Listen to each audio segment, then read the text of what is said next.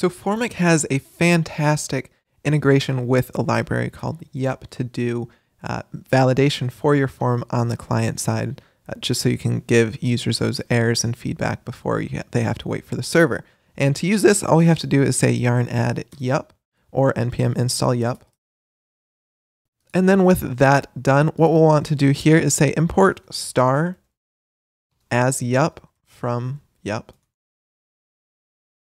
And we're doing import star as yup just because of the way things are exported. We want access to every validation function that's available to yup. So what we can do is actually, uh, we're going to go ahead and pull this out from our form just to keep it a little bit more clean. But we can go ahead and say validation or const validation schema, and we'll actually go ahead and define it. So looking at our initial values, that's also going to represent kind of our final values that we would be submitting to our uh, API endpoint or wherever you're sending it. So what we want to say, this is an object, so we'll say yup.object. And then we can go ahead and specify the actual shape of the object that we're expecting. And we know our object that we want to submit has a name attribute on it. And just like we've done here where we say we've got an object with a shape of this, we can go ahead and say yup.string, saying that this should be a string field so that we're not passing a number or anything like that in. So the way we would actually use this, uh, we've got our validation schema, and then all we have to do down here on our formik prop, just like we did initial values or on submit, we can go ahead and say validation schema is equal to our validation schema. So now if I use this and actually try to submit, let's go ahead and put numbers in here. These might actually be saved as a string, we'll see. So we see that works.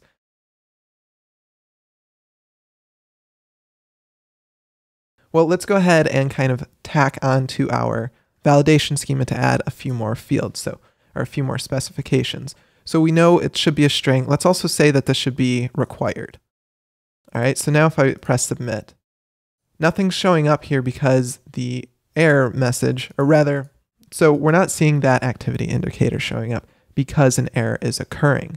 And we're not actually showing that error yet, so we should actually update our uh, app to go ahead and do that. And to do this, we'll go ahead and first import text from React Native.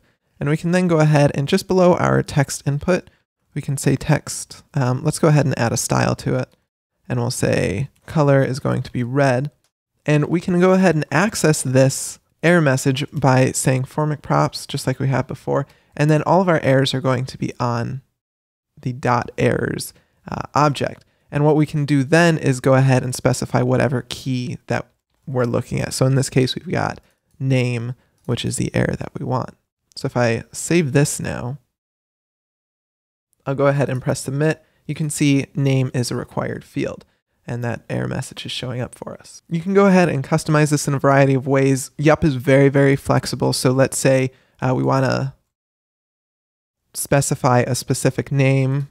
We can say you need a name, and then that's going to allow us when this error occurs, this is going to happen. Or if you don't want to specify a specific required message, you can go ahead and specify just the label. That way, uh, when this message is being displayed, say instead of it being lowercase using the key name, it'll go ahead and use whatever name we want it to. So we've got that capitalized start of a sentence uh, for our error message. And you can just go ahead and tack on different things. You can set a minimum. You can set, you know, the message that should show up here. You can set a max length of anything. So there's a variety of ways you just kind of build up your validation schema when using Yup. And it's just a really, really nice experience. They've got a variety of different validation types that we'll use uh, in future videos as we actually build more realistic forms.